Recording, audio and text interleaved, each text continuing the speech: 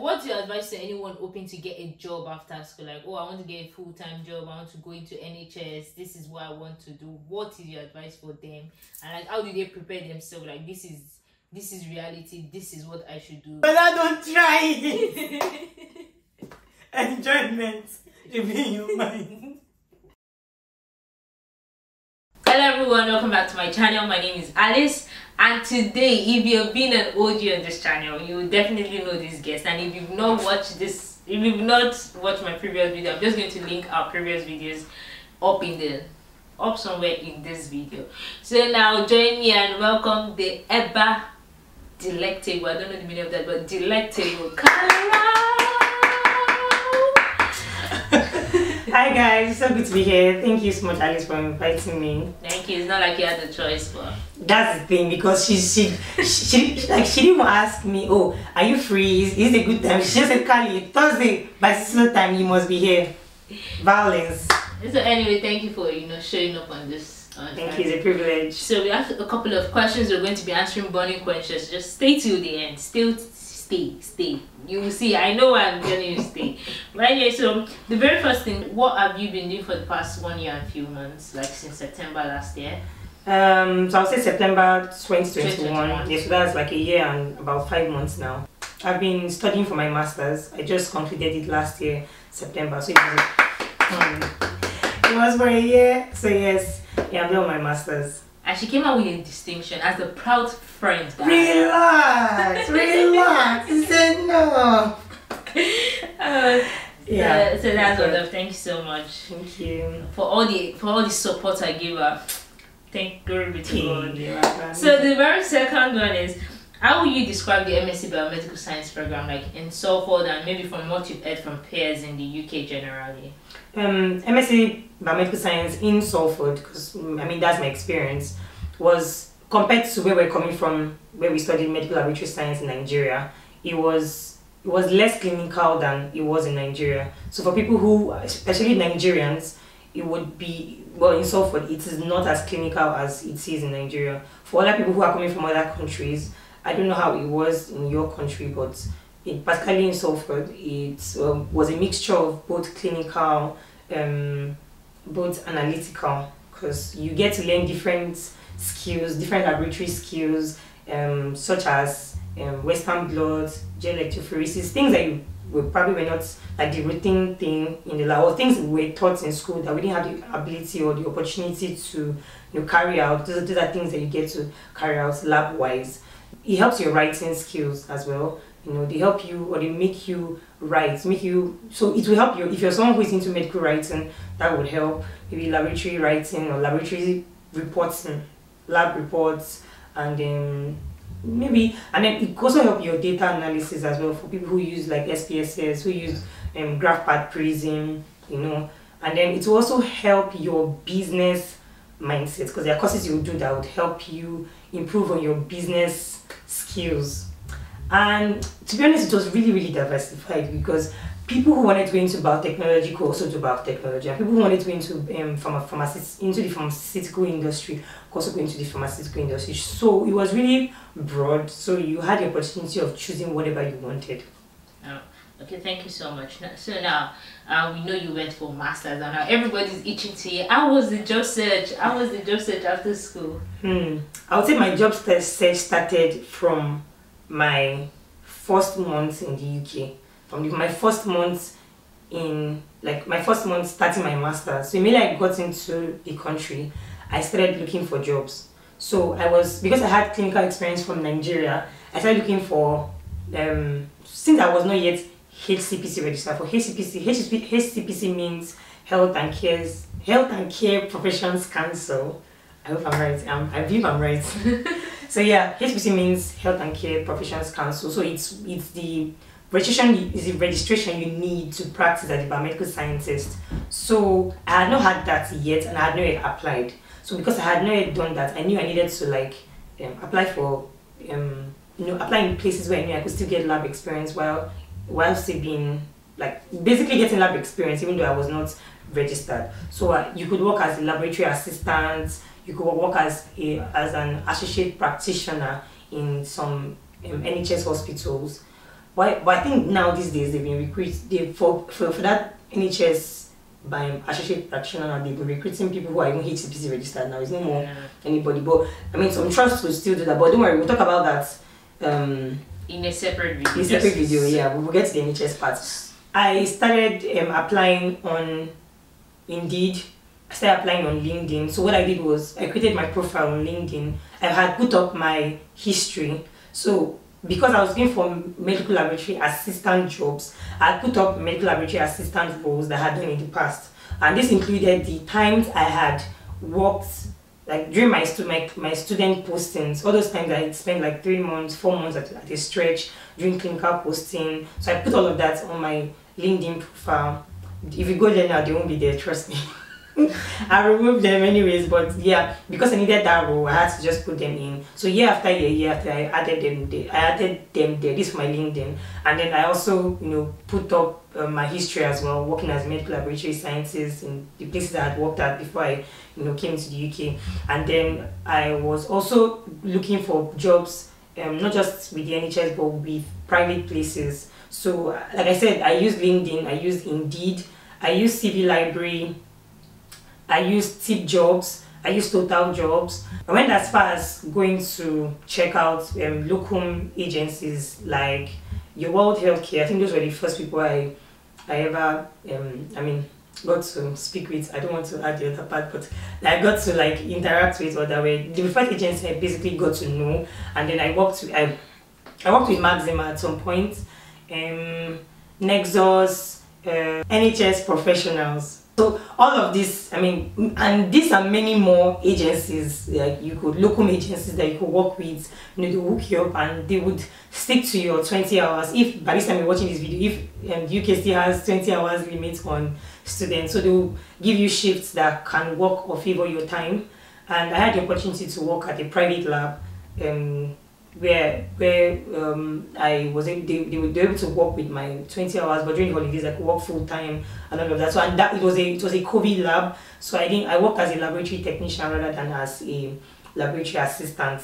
So um because they had seen my recent you know that was why I actually got the techni- technician role rather than the assistant role. So I just think it depends on what is available at the um, company that you're applying to basically At what point, like I remember, you- after your HCPC registration, at what point did you actively start looking for a full time job? So a full time role happened when I got my HCPC registration because if you if you had got if I had um, applying with my HCPC registration right, I could have gotten a full time job that would have you know sponsored me and if, I mean if you're being sponsored it means that you can work full time. So I said applying when I had immediately I got my HCPC registration that was like in my last semester of my masters. So I had freer time so I was just doing my project or my dissertation. So I had the opportunity to like you know apply, and I, I could work full time. So I didn't I didn't mind. So yeah, that's when I started my full time job application with the NHS and some other private places. Um, so when you started applying for jobs, what type of jobs did you apply for? Did you just apply to biomedical science roles? Did you apply to like was it just specific biomedical science roles you were applying to, or you applied to like many more things? Like what were the things you applied to? I smile. Do you know I smile? because I applied to so many that were not even biomedical scientist roles. You know, at some point I started to like it was really it was a lot because you will not want to restrict yourself to just biomedical sciences roles. There's some companies that do not have the title biomedical sciences, but by the time you read the job, you know, duties and you know the role, you know that okay, this is something you can do and this is what you can fit into. You know, so it was I applied to the NHS, I applied to private places, so I had to work on my supporting information, this for NHS um, jobs, which we'll talk about in another video. Um, I also worked on my CV and my cover letter. So for every place I'd worked at, I had to describe, you know, the main duties of my job roles at these different points I'd worked at. You know, I put them on my CV, brief and straight to the point, and I made them fit into what the job role. Unlike SI, where you have supporting information, that's what I mean by SI for the NHS, where you have to give stories. Your cover letter has to be very brief, but still pass the message. You're trying to convince them that you are actually best fit. So it's not like you're, you're not copying your CV into your explaining how your skills match what they are requesting for. So cover letter is a bit more convince you know what cover letter is now so. All right thank you. So uh, another question. What's your advice to anyone hoping to get a job after school? Like oh i want to get a full-time job. I want to go into nhs this is what i want to do. What is your advice for them? And like how do they prepare themselves? Like this is this is reality this is what i should do. Hmm. i would say first of all you have to prepare your mind because it's actually i would say survival survival of the fittest because it is a long hard journey. And some people are actually really lucky to get it really, really quick. Some people are not that lucky to get it really quick. And i believe everybody has their time. So you might have to build it's just the same way i to believe i'm talking to a lot of um, immigrants not just people who have been in the uk so for immigrants, you know how it was, you know, not so easy coming into or moving to a new country. Some of you might, might have had it easy, some of you might, might, might, might have had it tough, but there's always a huge difference when you move or, or relocate. So that relocation, you know, when you have to wait for your visa and everything, you know, it, sometimes it takes time, sometimes it doesn't, but I mean, there was it was a long process, so you knew the effort you put into. So that's the same thing with the job search. You have to be, you have to be strong because you could be sending one application now and you're getting like three other rejections. And that three other rejection should not stop you from making the application. Sometimes you might need to you know speak to somebody to look at your cv to look at your cover letter to look at your supporting information. Am i getting it right? Am i doing it right? You know sometimes people just apply once. I know a friend that just applied once and he got it. You know i have friends who who started application after me and got jobs before me. So it's just you shouldn't compare yourself with anybody because you will get really frustrated. So i would say start your job search, right? Stick to what you're doing. Stick to be confident in what you're you're you're you're doing and be and make sure that you know what you're saying in your CV. Right? If, even if you are, you have an idea or you don't really know, try make sure that you are prepared before an interview. Also be consistent. You have to be consistent because um, say for example you used for for a week you applied for about 20 jobs, right? So if the next week you decide to take a break and the next week you receive 20 rejections. So it means that you are you are back to status quo. It means that you not applied for anything at all. And meaning that you that means you're, you're not looking forward to anything. So let it be continuous. Even if you can't do it every day, make sure that no week goes by without you applying for jobs. So be consistent, be strong hearted.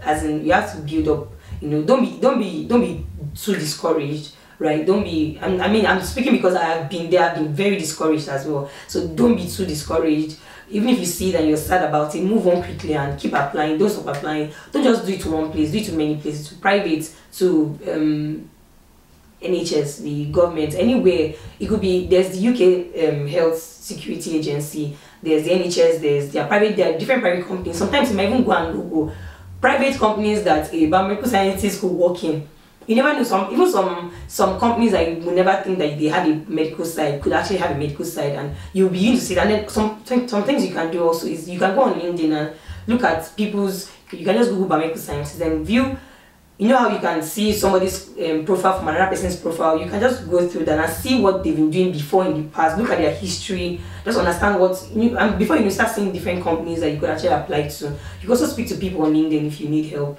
you know? Yeah